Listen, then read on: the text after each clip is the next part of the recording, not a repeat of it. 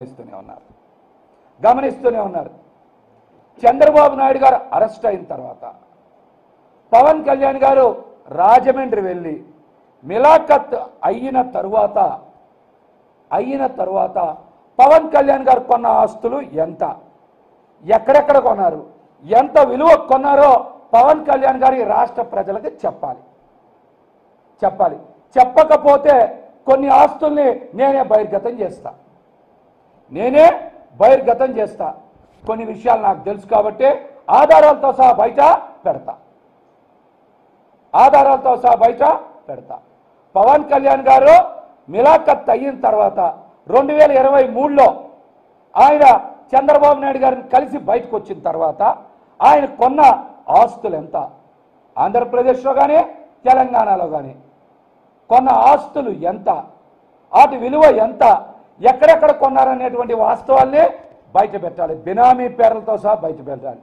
పెట్టకపోతే ఖచ్చితంగా నేను నా దగ్గరున్న ఆధారాలు కొన్నిటిని బయట పెడతానని కూడా ఈ సందర్భంగా తెలియజేస్తా ఉన్నా. ఈ సందర్భంగా తెలియజేస్తా ఉన్నా. పవన్ కళ్యాణ్ గారు పదే పదే నా దగ్గర డబ్బులు లేవంటున్నారు కదా.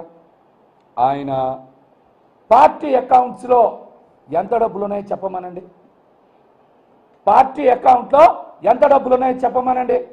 ఎందుకు ఆ విషయాన్ని బహిర్గతం చేయరు? పార్టీ అకౌంట్స్ని బయట పెట్టాలి కదా. డబ్బులు ఎంత ఉన్నాయో చెప్పాలి కదా. ఎందుకు చెప్పరు? ఎప్పుడు కూడా తీసుకున్న డబ్బులకి ఇంతవరకు లెక్కలు చెప్పరు జనసేన పార్టీలో. నా సేన కోసం నా వంతు అని మీరు వసూలు చేశారు కదా. ఈ అకౌంట్స్ని బయట పెట్టాలి. అదేవిధంగా గతంలో మంగళగిరిలో జనసేన పార్టీ కార్యాలయం కొనుగోలు చేయడానికి డబ్బులు మీకు ఎక్కడి నుంచి వచ్చాయి ఏ ఖాతాలో నుంచి వచ్చాయి అనేది కూడా మీరు బహిర్గతం చేయాలి. మీరు బహిర్గతం చేయాలి. అదేవిధంగా జనసేన పార్టీ ఎలక్ట్రాల్ బాండ్స్ ద్వారా సేకరించిన నిధులు ఎంత? రెండు కోట్లు ఐదు కోట్లు పది కోట్లు మీకు ఎంతమంది ఇచ్చారో మీరు బహిర్గతం చేయాలి. ఎలక్ట్రల్ బాండ్స్ ద్వారా సేకరించిన నిధుల్ని బయట పెట్టాలి. దేశంలో అన్ని పార్టీలు కూడా వెబ్సైట్లో బయట పెడుతున్నాయి కదా. వెబ్సైట్లో బయట పెడుతున్నాయి కదా. కాబట్టి కాబట్టి జనసేన పార్టీ అధ్యక్షులు పవన్ కళ్యాణ్ గారు ఎలక్ట్రల్ బాండ్స్ ఇవ్వడం ద్వారా సేకరించిన నిధులు చిన్న చిన్న అడగట్ల నేను కూడా. మీరు రాష్ట్ర ప్రజలకు చెప్పండి. రెండు కోట్లు ఐదు కోట్లు పది కోట్లు ఇచ్చిన వాళ్ళ వివరాల్ని బహిర్గతం చేయండి వెబ్సైట్లో పెట్టండి. ఎన్ని కోట్ల రూపాయలు సేకరించారనేది ఆ వాస్తవాల్ని మీరు బయట పెట్టాలి రాష్ట్రంలో చాలా పార్టీలు పెడుతున్నాయి. దేశంలో చాలా పార్టీలు పెడుతున్నాయి. వెబ్సైట్లో పెడుతున్నాయి కదా. ఆమ్ ఆద్మీ పార్టీ లాంటి ఎవరు చాలామంది పెడుతున్నారు. అట్లాంటివి మీరు బయట పెట్టండి బయట పెట్టండి అదేవిధంగా కౌలు రైతులు ఆత్మహత్య చేసుకుంటే వాళ్ళకి ఆదుకునేందుకు మూడు వేల కుటుంబాలకి లక్ష రూపాయలు ఇస్తాము. ముప్పై కోట్లు అవుతాయని చెప్పారు. మంచిది. దానికి ఒక సెపరేట్ అకౌంట్ కూడా ఓపెన్ చేసామని చెప్పారు. అది కూడా మంచిదే. మరి కౌలు రైతులకి ఆర్థిక సాయం అందించేందుకు మీరు మొదట ఐదు కోట్లు ఇచ్చామని చెప్పారు.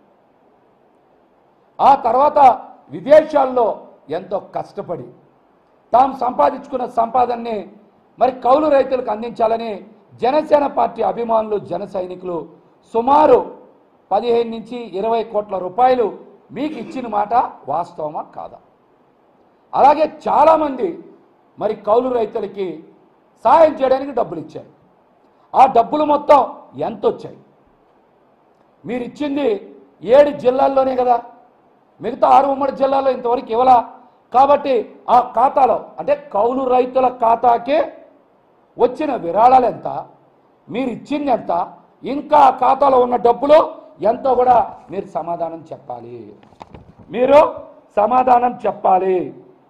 మాట మాటికి నేను నిజాయితీ పరుణ్ణి నేను ట్రాన్స్పరెంట్గా ఉంటా నేను ఏదైనా సరే అందరి ముందు మాట్లాడతా అని చెప్తున్నారు కదా. ఈ విషయాన్ని కూడా మీరు బహిర్గతం చేయాలి. బహిర్గతం చెయ్యాలి బయటికి చెప్పాలి.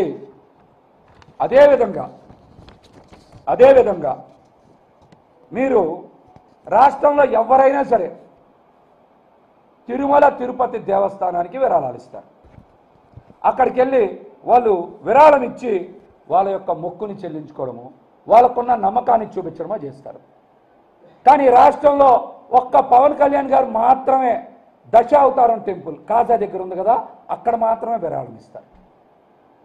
ఆయన మాత్రం తిరుమల వెళ్ళి దర్శనం చేసుకుంటారు తిరుపతిలో బహిరంగ సభలు పెడతారు సెంటిమెంట్ అని చెప్తారు కానీ తిరుమల తిరుపతి దేవస్థానానికి మాత్రం ఒక్క రూపాయి కూడా విరాళం ఇవ్వరు. కానీ ఆయనకి ఆయనకి కాజా సమీపంలో ఉండేటువంటి దశావతారం టెంపుల్ అంటేనే బాగా ప్రేమ బాగా నమ్మకం. అక్కడ మాత్రమే విరాళం ఎందుకు ఇస్తారో సమాధానం చెప్పాలి. అక్కడ మాత్రమే విరాళం ఎందుకు ఇస్తారో